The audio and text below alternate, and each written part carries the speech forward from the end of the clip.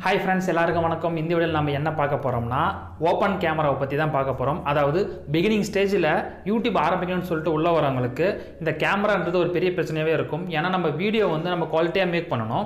அதுக்கு வந்து நம்ம நார்மல் கேமராவில் வந்து நம்ம வந்து ஷூட் பண்ணோம்னா நமக்கு வந்து அதில் ஒரு சில பிரச்சனைகள்லாம் வரும். பட் அந்த பிரச்சனைலாம் தவிக்கிறதுக்கு தான் அந்த ஓப்பன் கேமராவை நம்ம யூஸ் பண்ணுவோம். ஃப்ரெண்ட்ஸ் பிகினிங் ஸ்டேஜில் நாம் வந்து ஓரளவுக்காச்சும் நம்ம குவாலிட்டியான வீடியோ கொடுக்கணும்னு நீங்கள் நினச்சிங்கன்னா அதுக்கு வந்து அந்த ஓப்பன் கேமரா தான் உங்களுக்கு பெஸ்ட்டான ஆப்ஷனாக இருக்கும். ஏன்னா நார்மல் கேமராவில் இருக்கிற ஆப்ஷனை விட இந்த ஓப்பன் கேமராவில் நிறைய ஃபியூச்சர்ஸ் அதிகமாக இருக்குது அதனால் நீங்கள் இதை யூஸ் பண்ணும்போது நீங்கள் வந்து எக்ஸ்ட்ரா குவாலிட்டியோட நீங்கள் மேக் பண்ணலாம். ஃப்ரெண்ட்ஸ் நம்ம ஸ்டார்டிங்கில் ஓப்பன் கேமரா யூஸ் பண்ணும்போது அதை வந்து நம்ம ப்ளே ஸ்டோரில் இன்ஸ்டால் பண்ணி டேரெக்டாக நம்ம வந்து நம்ம ஷூட் பண்ணக்கூடாது. அதில் இருக்கிற செட்டிங்ஸை நம்ம கொஞ்சம் அனலைஸ் பண்ணிவிட்டு நம்மளுக்கு தேவையான மாதிரி கஸ்டமைஸ் பண்ணிக்கணும். அப்படி கஸ்டமைஸ் பண்ணும்போது தான் உங்களுடைய வீடியோட குவாலிட்டி இன்க்ரீஸ் ஆகும். அதனால் ஃப்ரெண்ட்ஸ் இந்த வீடியோவில் நம்ம ஓப்பன் கேமராவை நம்ம எப்படி யூஸ் பண்ணலாம்? அதோட செட்டிங்ஸ் நம்ம எப்படி நம்ம சேஞ்ச் பண்ணலாம்னு நம்ம பார்க்கலாம்.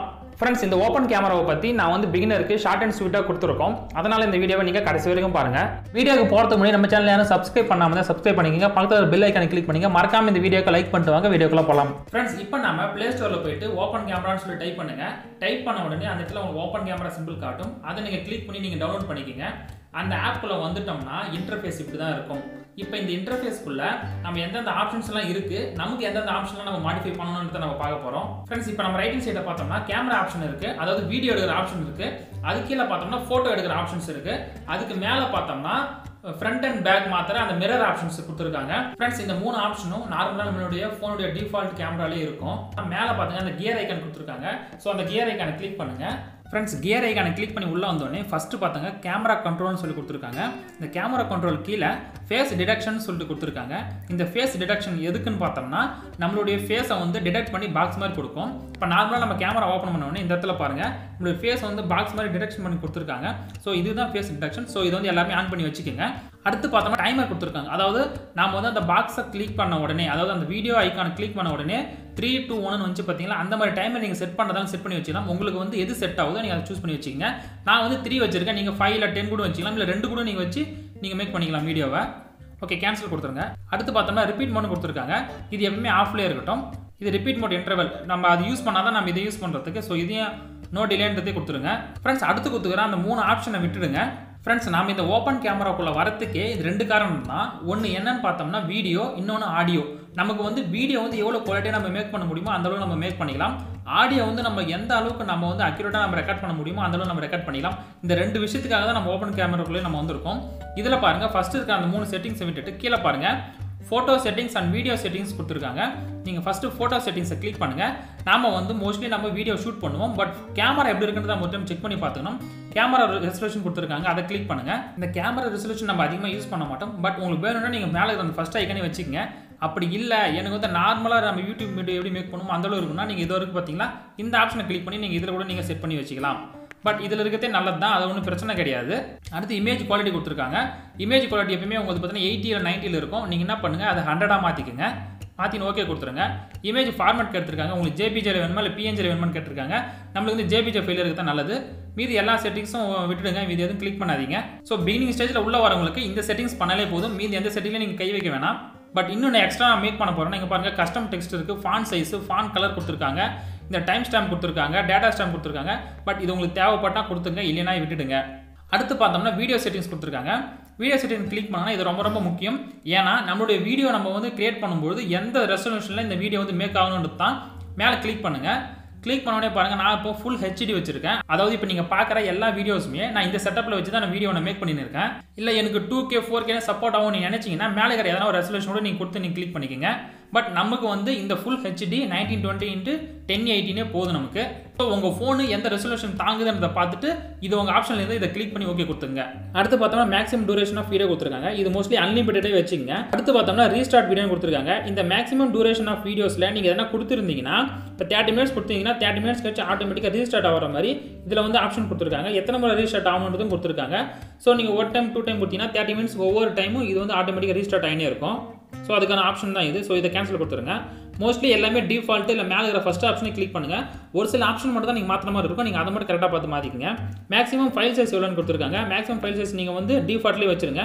இல்லைனா மேக்ஸிமம் நைன் ஜிபி கிட்ட வச்சுங்க ஏன்னா எப்படி இருந்தாலும் நைன் ஜிபி கிட்ட வராது. பட் இருந்தாலும் நான் வந்து மேக்ஸிமம் நான் வைக்கிறதே நல்லது. இல்லைன்னா டிஃபால்ட்டே நீங்கள் கிளிக் பண்ணி வச்சுக்கோங்க. இதுவும் சேம் ஆப்ஷன் தான். நீங்கள் எப்படி மேலே முடி பார்த்தோம் இந்த ரீஸ்டார்ட் அதே மாதிரி இந்த ரீஸ்டார்ட் மேக்ஸிமம் ஃபைலும் அதே தான் இது. அடுத்து ரெக்கார்ட் ஆடியோ ஆடியோ வந்து நம்ம ரெக்கார்ட் பண்ணணும். ஸோ அதை வந்து கண்டிப்பாக நீங்கள் அந்த இடத்துல நீங்கள் கிளிக் பண்ணி ஓகே பண்ணி வச்சுக்கோங்க. ஆடியோ சோர்ஸ் கேட்டிருக்காங்க. இது வந்து ரொம்ப ரொம்ப முக்கியம்.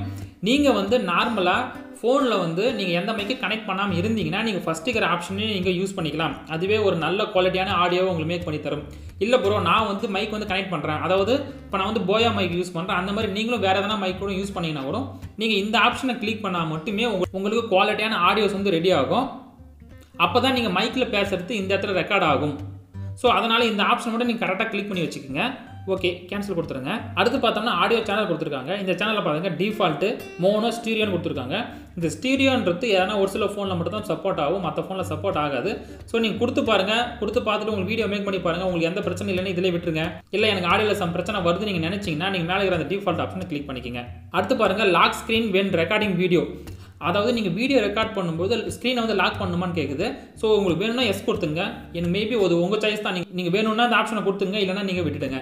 அடுத்து பார்த்தீங்கன்னா டீபக்கிங் ஆப்ஷன் கொடுத்துருக்காங்க. இருக்கிறதுல ரொம்ப ரொம்ப முக்கியமான ஆப்ஷன் இதுதான். ஏன்னா வீடியோட பிட் ரேட் வந்து நம்ம செலக்ட் பண்ணுறது ரொம்ப ரொம்ப முக்கியம். இதில் பார்த்தீங்கன்னா டிஃபால்ட்டாக நான் கொடுத்துருப்பேன். ஏன்னா என்னுடைய ஃபோன் வந்து எதுக்கு சப்போர்ட் ஆகுதுன்னு எனக்கு தெரியல அப்படின்னா நம்ம டிஃபால்ட்டாக கொடுத்துக்கலாம். இல்லை ப்ரோ என்னுடைய பிட் ரேட் வந்து மினிமம் தேர்ட்டி தாங்கும். இல்லை டுவெண்ட்டி வரைக்கும் வரும்னா நீங்கள் இங்கே போயிட்டு டுவெண்ட்டி கிளிக் பண்ணிங்க இல்லைனா தேர்ட்டி கிளிக் பண்ணிக்கங்க. உங்களுடைய ஆப்ஷன்ஸ் நீங்கள் எதுவோ அதை நீங்கள் சூஸ் பண்ணி வச்சுக்கோங்க. நான் மினிமம் டுவெண்ட்டியில் வைக்கிறேன். டுவெண்ட்டியில் வைக்கிறதே ஒரு பெஸ்ட்டான குவாலிட்டியாக தான் கிடைக்கும் நமக்கு வீடியோஸ் உங்களுடைய ஃபோன் வந்து இன்னும் ஹை குவாலிட்டியாக இருந்துச்சுன்னா நீங்கள் ஃபார்ட்டி ஃபிஃப்டி சிக்ஸ்டி நீங்கள் எது வேணால் வச்சுக்கலாம்.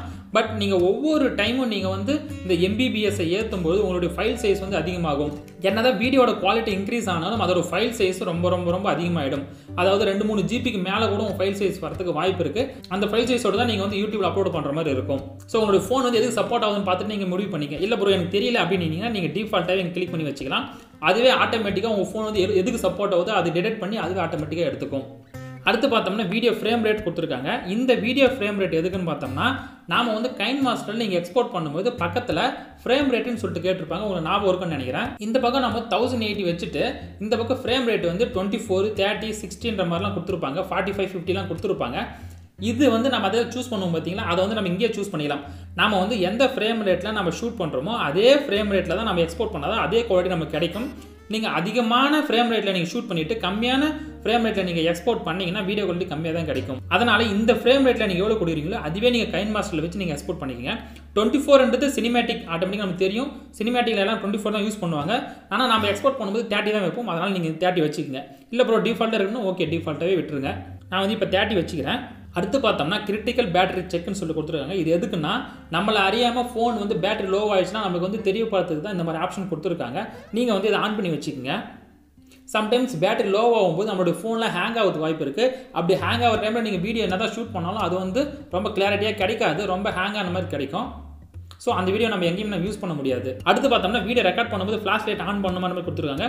உங்களுக்கு வேணும்னா நான் வந்து பேக் கேமரா யூஸ் பண்ணுறேன் அப்படின்னா நீங்கள் வந்து இதை எனேபிள் பண்ணி வச்சுக்கோங்க. எப்போலாம் ஷூட் நடக்குதோ அப்போ வந்து உங்களுக்கு பேக் கேமரா ஆட்டோமேட்டிக்காக ஃப்ளாஷ் லைட் வந்து ஆன் ஆகிடும் ஃப்ரெண்ட்ஸ் பிகினராக ஒருத்தவங்க யூடியூப்பில் வரும்போது அவங்க ஓப்பன் கேமரா செட்டிங் வந்து இந்த photo setting and video setting பண்ணாலே போதும். அதுக்கப்புறம் இருக்க எந்த ஆப்ஷனுமே நீங்கள் மாற்ற தேவையில்ல. இதை வச்சுட்டே நீங்கள் மீதி வீடியோஸ்லாம் நீங்கள் ஷூட் பண்ண ஆரம்பிச்சிடலாம். இன்னும் இதில் சில ஆப்ஷன்ஸ்லாம் கொடுத்துருக்காங்க. அந்த ஆப்ஷன் பண்ணாமல் எக்ஸ்ட்ரா ஆப்ஷன் உங்களுக்கு வேணும்னா நீங்கள் யூஸ் பண்ணீங்க இல்லைனா நம்ம விடலாம் இங்கே பாருங்க கேமரா ஏபிஐன்னு கொடுத்துருக்காங்க. இந்த ஏபிஐ பார்த்தீங்கன்னா original camera API camera two ஏபிஐன்னு கொடுத்துருக்காங்க. நீங்கள் வந்து ஒரிஜினல் வச்சு நீங்கள் ஷூட் பண்ணுங்கள் ஒன்றும் பிரச்சனை கிடையாது. இல்லை ப்ரோ கேமரா டூ ஏபிஐ வந்து எனக்கு சப்போர்ட் ஆகும் நான் பண்ணுறேன் அப்படின்னா நீங்கள் இதை வச்சு நீங்கள் செக் பண்ணி பாருங்கள் உங்கள் ஃபோன் சப்போர்ட் ஆயிடுச்சுன்னா உங்களுக்கு வீடியோ எடுக்கும்போது எந்த பிரச்சனையும் வரல ப்ரோ எனக்கு கரெக்டாக மூவ் ஆகுதுன்னா நீங்கள் கேமரா டூ ஏபிஐ வச்சு யூஸ் பண்ணிங்க. சம் பிரச்சனை உங்களுக்கு வந்துச்சுன்னா நீங்கள் வந்து ஒரிஜினல் கேமரா ஏபிஐ வச்சு ஷூட் பண்ணிங்க. மோஸ்ட்லி இந்த ஒரிஜினல் கேமரா ஏபிஐ நீங்கள் வச்சுக்கோங்க. இந்த கேமரா டூ ஏபிஐ வைக்கும்போது நம்மளுக்கு எக்ஸ்ட்ரா ஆப்ஷன்ஸ்லாம் நிறைய கிடைக்கும். அடுத்து பார்த்தோம்னா அபோட் இருக்குது privacy policy open source license settings manager இது எல்லாமே நார்மல் தான் பட் இது எதுவுமே நம்ம கை வைக்க தேவையில்ல. அடுத்து பார்த்தோம்னா மோர் கேமரா கண்ட்ரோல் கொடுத்துருக்காங்க. நம்மளோட கேமரா எப்படி கண்ட்ரோல் பண்ணுற ஆப்ஷன்ஸ்லாம் கொடுத்துருக்காங்க. உங்களுக்கு படித்து பாருங்கள் உங்களுக்கு எது எதெல்லாம் வேணுமோ நீங்கள் எனேபிள் பண்ணிக்கங்க. வேணான்றதை நீங்கள் வந்து டிசேபிள் பண்ணி வச்சுருங்க உங்களோட கம்ஃபர்டபுள் தான் இதெல்லாம் யூஸ் அடுத்து பார்த்தோம்னா கேமரா ப்ரிவியூ கொடுத்துருக்காங்க. இந்த கேமரா ப்ரிவியூக்குள்ளே போயிட்டோம்னா இங்கே நிறைய மோடு கொடுத்துருக்காங்க. உங்களுக்கெல்லாம் எது வந்து ஈஸியாக இருக்குமோ அதெல்லாம் நீங்கள் டிக் பண்ணி வச்சுக்கோங்க. உங்களுக்கு தேவையில்லாதெல்லாம் நீங்கள் வந்து டிசேபிள் பண்ணி வச்சுருங்க. பட் ஒவ்வொன்றா படித்து பாருங்கள் உங்களுக்கு ஆங்கிள் வேணும்னா ஆங்கிள் கொடுத்துங்க. ஆங்கிள் லைன் வேணும்னா கொடுத்துங்க. ஷோ பிச் லைன் கொடுத்துருக்காங்க. எனக்கு அதை வந்து ஷோ பண்ணணும் எனக்கு. ஃப்ரெண்ட்ஸ் இந்த லெஃப்ட் ஹேண்ட் சைடு கொடுத்துருக்காங்க பாருங்கள் ஜூம் ஜூம் பண்ணுற ஆப்ஷன் ஜூம் அவுட் பண்ணுற ஆப்ஷன் பார்த்தீங்களா? இதுக்கு தான் இது யூஸ் ஸோ அது வேணும்னா எனேபிள் பண்ணி வச்சுங்க. இந்த டிஸ்பிளேல தெரியிற ஒவ்வொரு விஷயம் எனேபிள் பண்ணுறதுக்கு தான் அங்கே அந்த ஆப்ஷன் கொடுத்துருக்காங்க. அடுத்து பார்த்தோம்னா ஆன் ஸ்க்ரீன் ஜியூஐன்னு கொடுத்துருக்காங்க.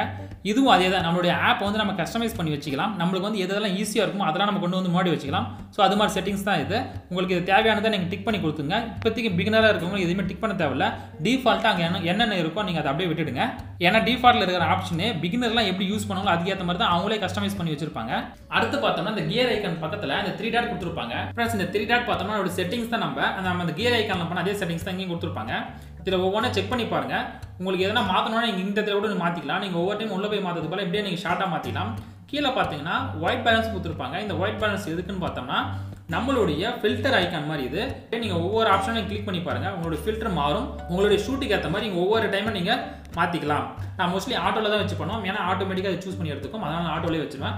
ஃப்ரெண்ட்ஸ் இப்போ பக்கத்தில் பார்த்தோம்னா ப்ளஸ் ஆர் மைனஸ் சொல்லிட்டு ஒரு ஆப்ஷன் கொடுத்துருக்காங்க. இந்த ஆப்ஷனை கிளிக் பண்ணோம்னா அங்கே பாருங்கள் நம்மளுடைய வீடியோட பர்ஃபார்மன்ஸில் லைட் செட்டிங் எவ்வளோ இருக்குன்றதை நம்ம அதை கண்ட்ரோல் பண்ணிக்கலாம். அதாவது இப்போ நான் இங்கே இருக்கிற இதை கிளிக் பண்ணி கீழே தள்ளிட்டேன். கீழே போனோடனே பாருங்கள் நம்ம லைட் செட்டிங் சுத்தமாக குறைஞ்சிருச்சு. ஸோ இந்த எக்ஸ்போசர் இன்க்ரீஸ் பண்ணுறது தான் அந்த ஆப்ஷனு நீங்கள் அப்படியே கொஞ்சம் கொஞ்சமாக மூவ் பண்ணி கொண்டு வந்தீங்கன்னா இங்கே பாருங்கள் லைட் செட்டிங்ஸ் கரெக்டாக ப்ராப்பராக மாறிடுச்சு. நீங்கள் ரொம்ப அதிகமாக வச்சுட்டாலும் ரொம்ப பிளராக தெரியும். அதனால் கொஞ்சம் கொஞ்சமாக நீங்கள் உங்களோட உங்களுக்கு ஏற்ற சைஸ் நீங்கள் கொண்டு வந்து நீங்கள் ஸ்டாப் பண்ணி வச்சுட்டு நீங்கள் வீடியோ ஷூட் பண்ண ஆரம்பிச்சிடலாம். இந்த மாதிரி நீங்கள் உங்களோட எக்ஸ்போசர் நீங்கள் சூஸ் பண்ணி வச்சுட்டிங்கன்னா பக்கத்தில் இருக்கிற அந்த லாக் ஐக்கானை கிளிக் பண்ணி லாக் பண்ணிடுங்க. நீங்கள் அப்படி லாக் பண்ணாதான் உங்களோட லைட் செட்டிங் வந்து சும்மா மாறினாலும் இப்படி மாறினாலும் உங்களுக்கு வந்து அதே லைட் செட்டிங் கிடைக்கும். அதை நீங்கள் லாக் பண்ணாமல் விட்டுட்டீங்கன்னா கொஞ்சம் கலர் வந்து ஷேட் ஆகினே இருக்கும். அதனால நீங்கள் இந்த எக்ஸ்போஷர் சூஸ் பண்ணதுக்கு அப்புறம் அடுத்து நீங்கள் அந்த லாக் ஐக்கான் கிளிக் பண்ணி லாக் பண்ணிக்கங்க.